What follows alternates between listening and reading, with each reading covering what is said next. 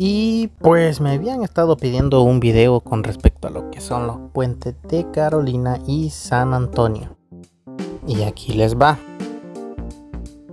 Vamos a ser claros y honestos. Las obras ya se están trabajando y quizás aproximadamente han avanzado un 10%. Y es que son cosas que a simple vista no podemos deducir o calcular con exactitud. Pero en realidad, ¿qué está pasando? Ya van casi dos años de que estas dos obras se empezaron a ejecutar. Y es que la empresa que empezó con la ejecución de estos dos puentes al pasar un año con un mes, pues se ha marchado.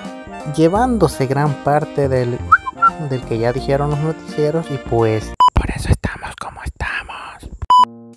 Lo bueno de todo que aún sigue su construcción y es que ya se encuentra trabajando una nueva empresa en dichas obras.